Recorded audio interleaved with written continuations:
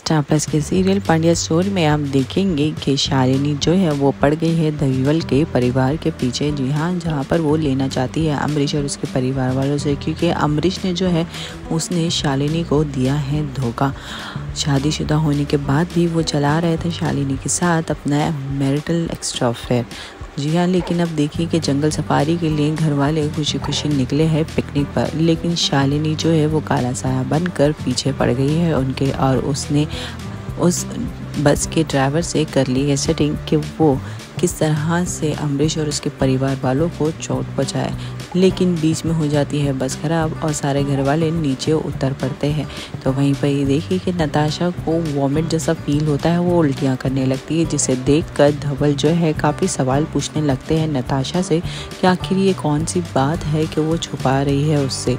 क्या कोई परेशानी की बात है? वहीं पर नताशा जो है ये सारी बातें सुनकर शॉक्ड हो जाती है। क्या नताशा है। प्रेग्नेंट क्या धवल से नताशा जानबूझ की बात छुपा रही है? ये सब तो हमको एपिसोड देख ही पता चलेगा, लेकिन व्यूवर्स आपका क्या कहना आप हमें कमेंट के ज़रिए ज़रूर बताएँ।